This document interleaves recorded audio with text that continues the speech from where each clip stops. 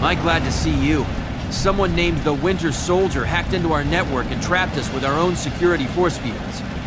Boy, do you look stupid. Give me ten bucks and I won't tell Nick Fury about this. Ten dollars? Are you insane? You're a hero. You're right. Make it a hundred. My tights don't come cheap. But you're supposed to save people for free. I charge stupid people. And you qualify, seeing as how you're trapped in your own living compartment. By the way, the price is up to 200. Fine, fine, I'll pay it. Just go to the security console and reboot the system. It'll take two of your team members to activate it. Watch out for traps. Ooh, I don't like traps. The price just went up to 500. All right, I'll pay whatever you want.